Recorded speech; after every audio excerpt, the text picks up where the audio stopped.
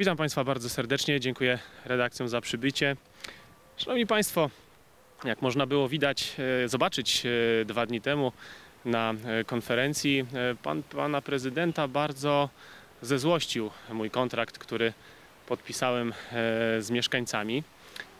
A jeszcze chyba bardziej zezłościły pana prezydenta pytania, ponieważ no, rzeczywiście nerwowo pogiął kartkę, którą później próbował Państwu wcisnąć i bardzo szybko się oddalił. Ale do rzeczy. Szanowni Państwo, po pierwsze, pan prezydent zarzuca mi, że ukrywam swoją drużynę, że kogokolwiek ukrywam.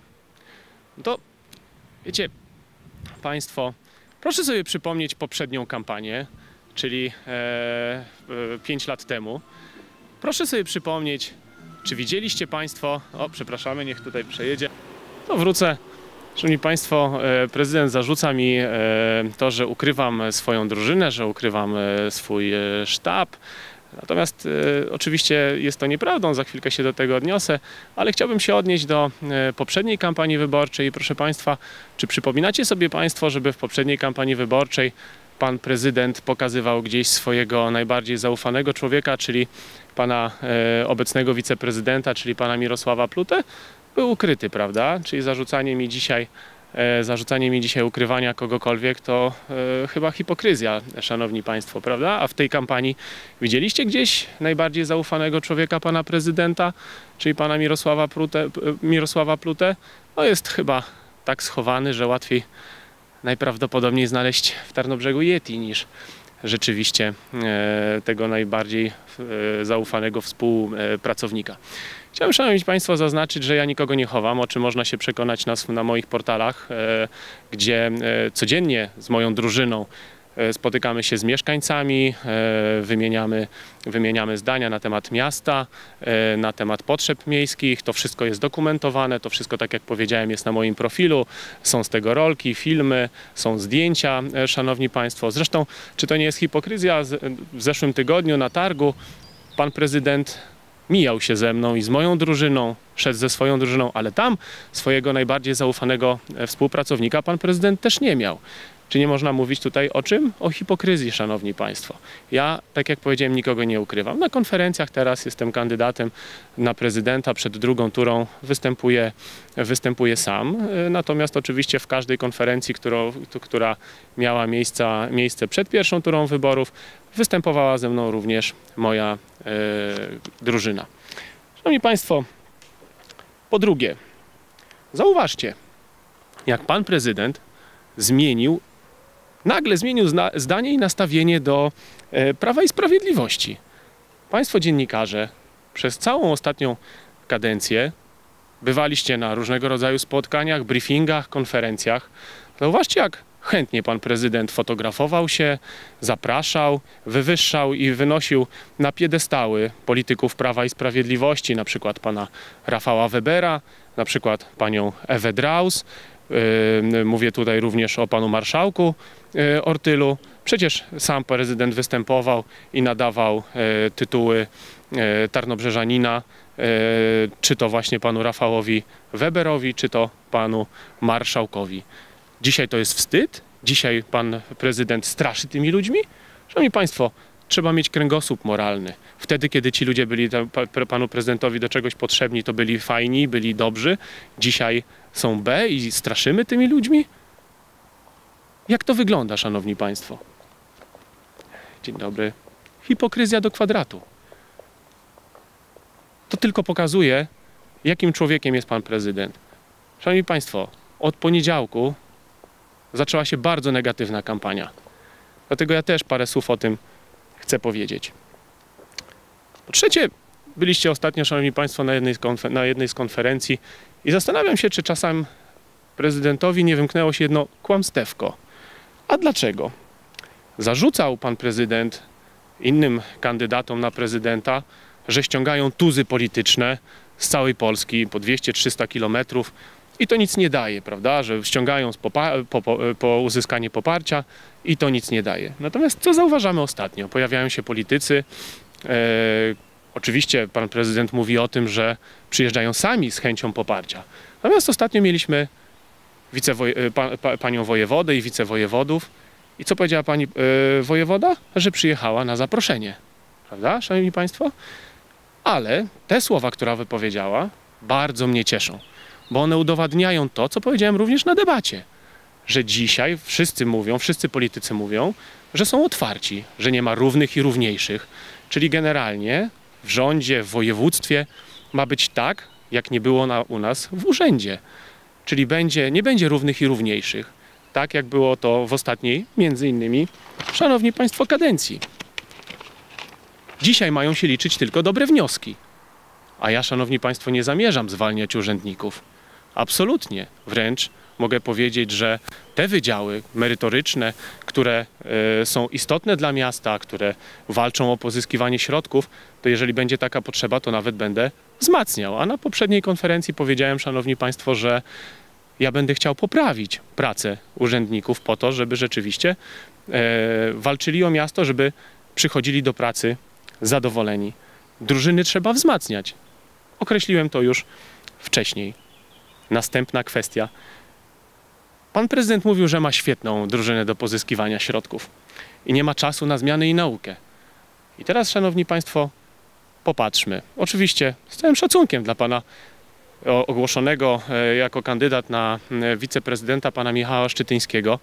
Czy pan Michał ma jakieś doświadczenie w pozyskiwaniu środków? I to ma być ta drużyna? Pokazał, że to będzie pan Michał na debacie w TVP Rzeszów. Wymienił, prosiłem go o to, żeby przedstawił mi pięć nazwisk, pięć osób, które są tą drużyną, tą mocną drużyną, która walczy o Tarnobrzeg i walczy o te środki. Wymienił pana wicewojewodę Bartoszka, wymienił pana Michała Szczytyńskiego i wymienił posłów. To to ma być ta drużyna? Szanowni Państwo, nie wymienił nikogo z pracowników, dlatego że ci pracownicy w Urzędzie Miasta nie przyszli z nim. Ci pracowni, pracownicy są, byli i będą. I to oni będą stanowić o tej sile. Więc tutaj nikt nie zamierza się, Szanowni Państwo, e, uczyć. Hipokryzja. Hipokryzja, Szanowni Państwo. A fakty są takie, że w Urzędzie Miasta w obecnej kadencji odeszło bardzo wielu fachowców. Popatrzmy. Wydział Gospodarki e, Gruntami, Wydział Środowiska, czy na przykład Wydział Techniczny i Drogownictwa. Utraciliśmy ludzi. Dlaczego? Bo oni stracili zaufanie do panów prezydentów. To byli naprawdę świetni fachowcy. O takich ludzi trzeba walczyć. To my straciliśmy tą ekipę, a nie ją pozyskaliśmy, szanowni państwo. I co mi znowu przychodzi do głowy? Hipokryzja. I teraz tak, kolejny punkt. Szanowni Państwo, w swoim wywiadzie pan prezydent i w debacie pan prezydent mówił o konsultacjach społecznych. I zauważcie, to jest dopiero hipokryzja. Dzisiaj pan prezydent na debacie, na debacie w telewizji polskiej mówi o tym, że na pytanie o spalarnię mówi o tym, że temat nie jest ani otwarty, ani zamknięty. Czyli nie jestem ani za, ani przeciw. On teraz będzie przeprowadzał konsultacje społeczne? Szanowni Państwo, od 2020 roku mieszkańcy nie dowiedzieli się o tym temacie praktycznie nic. I dzisiaj będziemy przeprowadzać e, konsultacje społeczne? To samo, jeżeli chodzi o maszt w Mokrzyszowie. Nie wiem, czy Państwo już wiedzą, widzieli, maszt w Mokrzyszowie stoi. Stoi, uzbrojony, czeka pewnie tylko na uruchomienie. I dzisiaj również na, na debacie w TVP3 Rzeszów pan prezydent mówi o tym, że dalej będzie rozmawiał o tym, aby firma ten maszt przeniosła? Nie wiem, czy ten maszt da się teleportować. No, wydaje mi się, że jeszcze takiej techniki nie ma, szanowni państwo. Dziewięciometrowy fundament, postawiona wysoka wieża. I nie chodzi tutaj o to, żeby człowiek, że, że ktoś jest przeciwko. Tylko oczywiście nie było odpowiednich konsultacji, ludzie o tym nie wiedzieli, zostali tym zaskoczeni. Ale dzisiaj mówienie o tym, że będziemy rozmawiać o, o przesunięciu tego masztu, to to jest dopiero, to jest hipokryzja do, do kwadratu, szanowni, szanowni państwo. Dzisiaj to nie wiem, chyba tylko naiwni, bezpośredni współpracownicy pana prezydenta mogą to wierzyć. I tak jak powiedziałem kolejny raz, słowo hipokryzja. Pan prezydent chwali się wielkimi kwotami pozyskanymi przez miasto. Zaraz się jeszcze do tego odniosę, bo między innymi chodzi tutaj o parkingi. Ale szanowni państwo, obwodnica. Zauważcie, umowa podpisana zaraz po tym, jak pan prezydent objął urzędowanie. I dlaczego pan marszałek zaprosił również poprzednich e, administratorów, którzy, e, e, którzy stanowili władzę w Tarnobrzegu? Dlatego, że te środki załatwione były już wcześniej. Umowa, całe, finansowanie przy, przygotowane było wcześniej. Dzisiaj pan prezydent się tym chwali. A, do, a były to pieniądze załatwione i podpisane w zasadzie przez polityków, którymi dzisiaj pan prezydent straszy. To jest hipokryzja, to jest brak kręgosłupa moralnego, szanowni państwo. Jak tak można? To samo, jeżeli chodzi o e, rewitalizację jeziora. We wrześniu 2018 rok, przypominacie sobie Państwo? Zarząd województwa spotkał się nad jeziorem, było posiedzenie zarządu województwa i tam właśnie finansowanie na e, jezioro zostało, zostało e, zagwarantowane, na rewitalizację jeziora. Dzisiaj tym środowiskiem straszymy ludzi? Jak tak można? Jak można teraz spojrzeć? Jak pan prezydent spojrzy w oczy tym ludziom, których spotka na swojej, e, na swojej, na swojej, na swojej drodze? Przypomnę, kwoty, które dostaliśmy, Polski Ład, jeżeli chodzi o pierwsze, drugie rozdanie, największe środki w regionie. Dostaliśmy większe środki niż Stalowa Wola, niż nawet Rzeszów. I dzisiaj się od tego odcinamy? Będziemy straszyć mieszkańców? Fundusz Dróg Samorządowych, pan Rafał Weber, czy kiedykolwiek odmówił, odmówił e, nam pomocy? Kiedykolwiek potrzebowaliśmy jakichś dodatkowych środków? Ile razy nas panowie prezydenci zapraszali na spotkanie, aby im pomóc w uzyskiwaniu tych środków? I za każdym razem, kiedy była taka potrzeba, środki dostawaliśmy. Zauważcie państwo, ile dodatkowych środków oprócz finansowania całej obwodnicy dostaliśmy przez cały ten okres czasu. Nie patrzyliśmy, jak pan prezydent nie patrzył do przodu. Prosiłem jako jeszcze wcześniej, wcześniej radny na etapie projektowania, aby zaprojektować przejścia dla pieszych. Policja prosiła o zatoczki na obwodnicy. Oczywiście się nie dało. Natomiast dzięki tym środkom, które dostawaliśmy później, dzisiaj te przejścia się budują. Inna sprawa, czy lokalizacja przynajmniej jednego z tych przejść jest słuszna. W moim mniemaniu nie. Ale czy kiedykolwiek ktoś nam odmówił? Dostawaliśmy największe środki. I dzisiaj tym środowiskiem straszymy? To jest, szanowni państwo, manipulacja i totalna hipokryzja. Dzisiaj przyjeżdża pani minister, e, przepraszam, pani ministra do Tarnobrzega e, z poparciem dla pana prezydenta i szanowni państwo, skąd ona może użyć takich słów, że kontrkandydatem pana prezydenta jest kto? Kandydat PiS, szanowni państwo. Czyli jak dobrze sztab pana prezydenta pracuje? To jest manipulacja. Dobrze Państwo wiecie Pan Prezydent też. Nigdy nie byłem człowiekiem należącym do jakiejkolwiek partii. Oczywiście, jako człowiek z charakterem i człowiek z kręgosłupem moralnym, jak w 2010 roku pierwszy raz wystartowałem z list Prawa i Sprawiedliwości do Rady Miasta, na które zostałem zaproszony, to to samo zrobiłem w 2014 i w 2018 roku, mimo tego, że miałem zaproszenia na inne listy, ale nie wyobrażałem sobie, Szanowni Państwo, to co już powiedziałem, żeby być chorągiewką, bo mam kręgosłup moralny. Dzisiaj pan prezydent wywyższał, na, na, na, dawał najwyższe honory miejskie panom y, y, marszałkowi y, Władysławowi Ortylowi czy panu Rafałowi Weberowi, a dzisiaj się ich wstydzi i tymi ludźmi i tym środowiskiem dzisiaj społeczeństwo straszy? Najpierw uzyskał największe finansowanie dzięki temu, że właśnie była ta współpraca, że ci ludzie byli otwarci, a dzisiaj na nich pluje? Hipokryzja, szanowni państwo, hipokryzja. Kolejna kwestia, szanowni państwo zmiany projektów. Jak nie da się zmienić, to pan, pan, powiedział oczywiście, że nie mam kompetencji, bo zaznaczyłem, że zmiany projektowe, e, że, że jeżeli chodzi o e, projekt nad jeziorem, e, na parkingi, że nie, nie dało się nic zmienić. To szanowni państwo, proszę bardzo. Coś Państwu pokażę. Za co dopłacaliśmy miliony złotych za zmiany, które, o, o które występowały firmy, które realizowały nam te zadania? Zaraz Państwu coś pokażę. Proszę bardzo, bo prezydent pokazywał kartki, pokazywał projekt z 2018 roku. Proszę bardzo. Proszę sobie dokładnie tutaj to spojrzeć na to, co ja pokazuję. Szanowni Państwo, projekt został zlecony w 2018 roku, owszem. Przyszedł do miasta w 2018, pod koniec 2018 roku. Realizacja zadania nastąpiła kiedy? Przeczytam, Szanowni Państwo. Decyzja numer 208 przez 21. Zatwierdzam projekt budowlany i udzielam pozwolenia na budowę budowę inwestycji pod nazwą budowa parkingów przy jeziorze Tarnobrzeskim wraz z infrastrukturą towarzyszącą w ramach projektu rewitalizacji zdegradowanych obszarów przemysłowych miasta Tarnobrzega poprzez zagospodarowanie, zagospodarowanie terenów wokół jeziora Tarnobrzeskiego. 3 grudzień 2021. Przez 4 lata nie można było spojrzeć na ten projekt, a nawet w trakcie realizacji, przepraszam, nawet w trakcie realizacji nie można było, szanowni państwo, jeżeli pierwszy parking robiliśmy i ktoś zauważył nadmiarowość lamp, nie można było tego zmienić, to pokażę państwu coś dalej. Jeżeli nie można realizować i zmieniać projektu w trakcie, ta dokumentacja jest w moim posiadaniu, szanowni państwo, na podstawie, żeby ktoś nie zarzucił, na podstawie mojej interpelacji z 10 listopada 2023 gdzie wystąpiłem, ponieważ, szanowni państwo, infrastruktura w mieście zawsze była, zawsze była moim oczkiem. Zawsze była moim oczkiem w głowie i ktoś mi zarzuca w tej kwestii niekompetencje, to proszę bardzo. Na podstawie tej interpelacji uzyskałem dokumentację na temat e, dokładnej informacji, ile i dlaczego miasto dołożyło do wszystkich realizowanych inwestycji od 2019 roku. I proszę bardzo, Szanowni Państwo, coś bardzo ważnego, co chciałem Państwu pokazać. To jest taka doku- no, du- duża dokumentacja. Oczywiście nie będę robił, nie będę czytał wszystkich, ale przeczytam Państwu protokół konieczności właśnie z realizacji zadania budowy parkingów. Protokół konieczności, Szanowni Państwo, można sobie też zrobić zdjęcie, żeby była, była jasność. Wystąpiła firma PBI z prośbą o zmianę konstrukcji parkingów i drogi dojazdowej. Takie rzeczy można było, Szanowni Państwo, zmieniać. Zmienialiśmy pozycję, usadowienie e, toalet nawet. Wszystko. Przy obwodnicy zmienialiśmy instalacje elektryczne, przepusty. Czy przedłużały nam się przez to te inwestycje? Absolutnie. Dlaczego? Dlatego, że właśnie takie rzeczy protokołem konieczności można zmieniać. Uzgadnia się to z projektami, e, z projektantami i takie rzeczy można zmieniać. To są wszystko, proszę Państwa, dokumenty świadczące o tym, jak wiele rzeczy zmienialiśmy w trakcie prowadzenia inwestycji.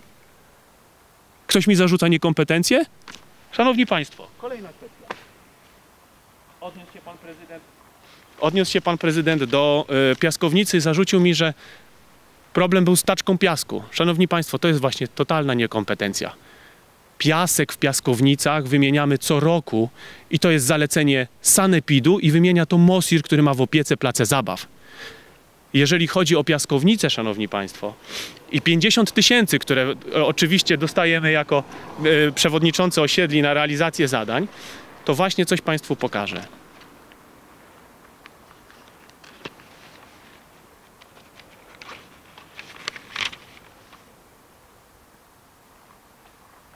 Dlatego, że szanowni państwo, w żadnym wypadku pan prezydent nie chciał mi pomóc w tej kwestii. Chcę pokazać, jak to wyglądało. Plac zabaw na osiedlu Siarkowiec za Lukulusem przejąłem w takim stanie. Szanowni Państwo, proszę sobie zobaczyć. W ramach budżetu obywatelskiego plac zabaw uzyskał finansowanie 100 tysięcy złotych. Na to przeznaczyliśmy, na pierwszy, na pierwszy rzut, na pierwszy etap e, remontu tego placu zabaw. Tak wyglądał, Szanowni Państwo. I tu jest też ta słynna piaskownica. Proszę zobaczyć, jakim była w stanie. Jeszcze pani Anna Pekar, pełniąca obowiązki prezydenta miasta Tarnobrzega, na mój wniosek, złożyła do Ministerstwa Sportu wniosek o e, dofinansowanie w ramach otwartych stref aktywności. Dostaliśmy dodatkowe 50 tysięcy i szanowni państwo, nie mogłem się później doprosić po zmianie władzy o ogłoszenie przetargu, o zrealizowanie tego zadania. Pierwszy przetarg rozstrzygnął się kwotą 110, mimo tego, że mieliśmy 150. Mogliśmy realizować, przekładali, bo okazało się, że za drogo. Drugi, trzeci i zrealizowaliśmy to w końcu, szanowni państwo, w listopadzie 2019 roku, ten pierwszy etap. W listopadzie 2019 roku za kwotę bodajże 170 tysięcy złotych. To jest ta gospodarność, szanowni państwo. I teraz pokażę dalej, o co chodzi w ramach wszystkich po kolei środków, bo oczywiście zadania, e, na wszystkie te zadania muszą być, e, wszystkie te urządzenia muszą być homologowane, szanowni państwo. Nie wystarczyło mi, żeby ten plac zabaw e, wyremontować docelowo, więc wszystkie środki kolejne, czyli kolejne budżety obywatelskie i środki osiedlowe kierowałem na ten plac zabaw. Proszę zobaczyć, w jakim on jest w stanie dzisiaj. I wtedy, kiedy wnioskowałem o remont piaskownicy, Szanowni Państwo, jest tutaj ona też na tym bodajże zdjęciu. Chodziło o wymianę desek, o tynkowanie, naprawę, po prostu naprawę tej piaskownicy. To o to chodziło, szanowny panie prezydencie. I na to państw, pań, pana urzędnicy tą piaskownicę, remont tej piaskownicy wy- wycenili na 4,5 tysiąca złotych. I o to chodziło. A, I to był marzec 2021 roku. A dobrze pan wiedział, że w budżecie, jak wcześniej e, do budżetu e, składaliśmy swoje zapotrzebowanie, to te 50 tysięcy właśnie było przeznaczone na to, żeby ten plac zabaw po tylu latach mógł dla dzie- dzieci cieszyć. I te 4,5 tysiące to było pieniądze, to, to były środki, które mi zabrakło do remontu tej piaskownicy. Nie prosiłem nawet o ogrodzenie, bo ogrodzenie zrobiłem z własnych środków w ramach, w ramach szanowni państwo, współpracy z budowlanką i w ramach praktyk pan dyrektor e, naprawił to ogrodzenie. I to jest ta kompetencja, szanowni państwo. Idąc dalej.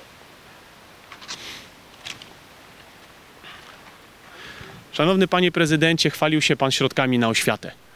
To proszę mi powiedzieć, jeżeli tak na wszystko jest, to dlaczego z tak e, wielkim, e, z taką wielką euforią został przyjęty mój projekt budżetu obywatelskiego nasze nowoczesne przedszkola? Dlaczego? Jeżeli na wszystko zawsze, szanowni państwo, szanowni państwo było.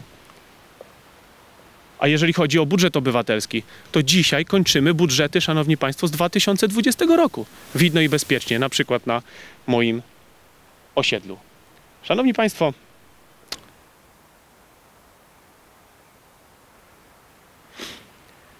u pana prezydenta w ostatnim czasie uwidoczniły się ciekawe cechy.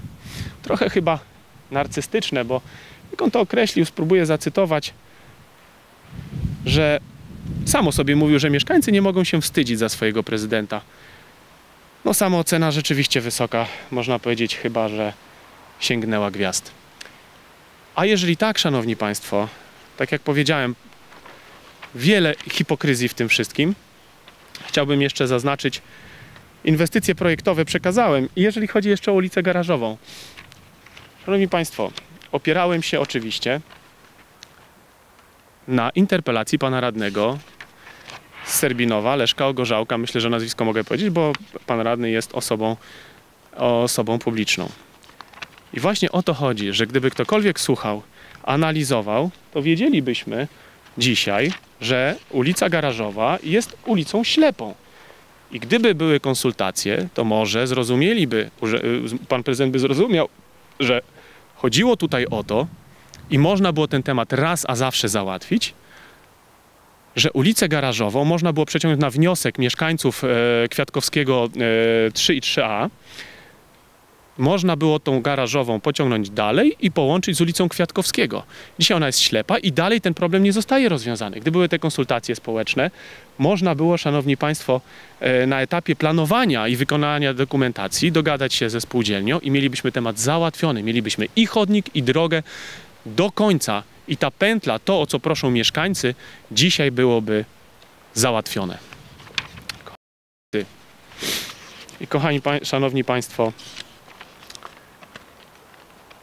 Chciałem Państwu podziękować, bo najprawdopodobniej jest to ostatnia e, konferencja, no, chyba że będę musiał jeszcze jakieś kłamstwa e, i niedomówienia dementować. Chciałem Wam bardzo podziękować. Chciałem mieszkańcom, wszystkim mieszkańcom serdecznie podziękować i zaprosić do udziału w wyborach 21 kwietnia. Szanowni Państwo, wybierzmy ludzi mądrych, uczciwych, przede wszystkim z kręgosłupem moralnych. Państwu, redakcjom, Wszystkim dziękuję za przyjmowanie zaproszeń. I szanowni Państwo, do wyborów. Dziękuję serdecznie. Czy ewentualnie jakieś pytania? Proszę bardzo. Wspomniał Pan o Panu Michale Tak. e, przedstawił go na swojego kandydata na wiceprezydenta. Czy Pan nam zdradzi, kto w przypadku, jeśli Pan wygra wybory? Ja to już wielokrotnie mówiłem. Proszę popatrzeć na układ e, w Radzie Miasta. 975. Będę nieuczciwy, jeżeli ja dzisiaj wskazałbym wiceprezydenta, e, szanowni państwo, bo zamknąłbym sobie również możliwości negocjacyjne w Radzie, e, w Radzie Miasta. Prezydent, wiadomo, będzie potrzebował większości i ja dzisiaj nie umiem tego, szanowni państwo, na to pytanie wam odpowiedzieć, będąc z wami w 100% uczciwy.